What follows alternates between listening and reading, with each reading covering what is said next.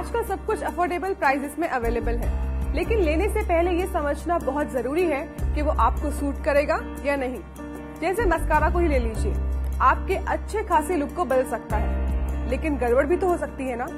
इसीलिए आज आपको मैं बताऊँगी कि मस्कारा को कैसे चूज़ करना चाहिए।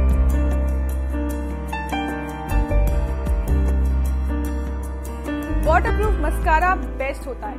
अगर गर्मी से मस्कारा निकल आए तो क्या फ़ायदा? इसीलिए वाटरप्रूफ मस्कारा सॉलिड है। वैसे तो पर्सनल सलाह है कि आप ब्रांड के चक्कर में मत पड़िए। जो मस्कारा लगाने और निकालने में सूट करे, वही आपके लिए सही है। अक्सर लोग ब्रांड के चक्कर में अपना कंफर्ट भूल जाते हैं। आप ऐसी गलती मत कीजिएगा। थिक मस्कारा लाइट मस्कारे से बेटर होता है। तो कोशिश करें कि वाटरप्रूफ होने के साथ साथ आपका मस्कारा थिक भी हो।